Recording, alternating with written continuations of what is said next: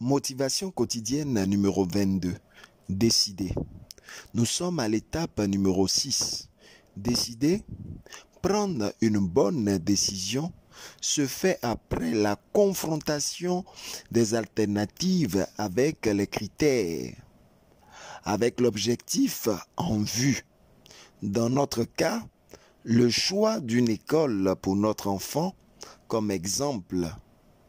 On va donc se laisser guider par une pondération numérique ou par un code de couleur dans laquelle chaque alternative reçoit une note ou un symbole de couleur. Couleur vive jusqu'à une couleur moins vive. On additionne le tout et c'est l'alternative qui a obtenu le score le plus élevé qui l'emporte. Ou dans le cadre des couleurs, c'est celle qui a le plus de couleurs vives qui l'emporte.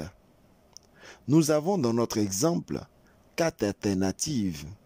L'alternative numéro 1, l'alternative numéro 2, l'alternative numéro 3 et l'alternative numéro 4, avec ses avantages et ses inconvénients.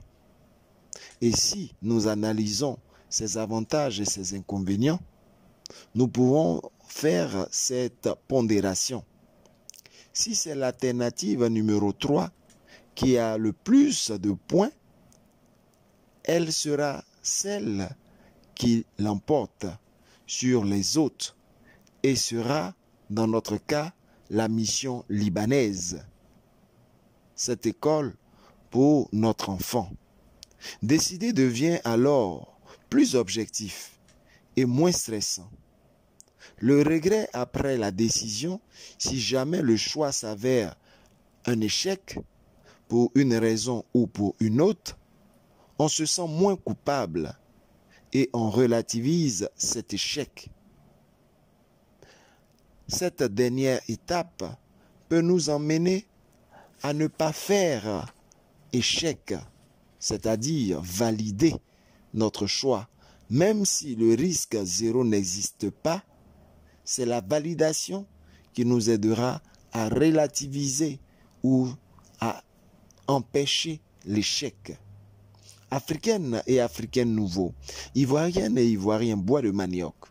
Un proverbe africain nous dit Celui qui a son pied dans l'eau n'a plus peur du froid. Il prend son bain au calme et tranquille. Nous avons entamé un processus de décision. À la fin de ce parcours, nous devons décider et assumer les conséquences par la validation.